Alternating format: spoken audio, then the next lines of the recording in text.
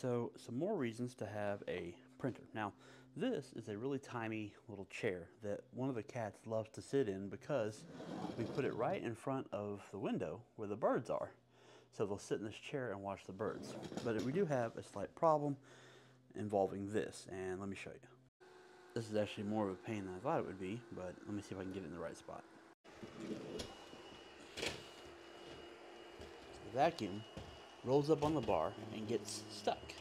Now this is a pretty great little vacuum, but the bar is just too dang low. Now, there's a couple things you could do. You could put a ramp across here, but in order to do that, the ramp would have to be the entire length of this bar. And these things really don't like ramp. They have enough trouble with just getting over door entries.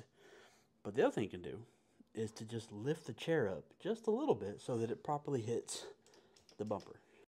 So to facilitate that, we made these things here.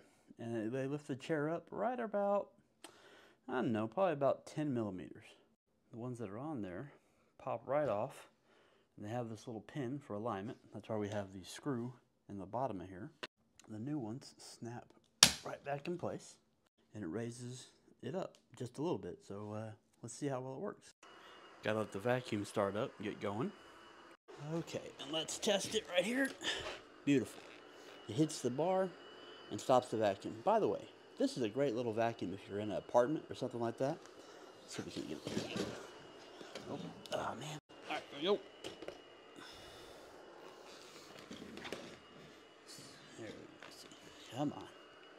Ah, beautiful. Anyway, so we fixed the chair. Cats are happy, and the vacuum doesn't get stuck. And just as a side note, I think when I may have a little bit of free time, I may measure this out correctly and put little felt pads on here. That way it doesn't move at all.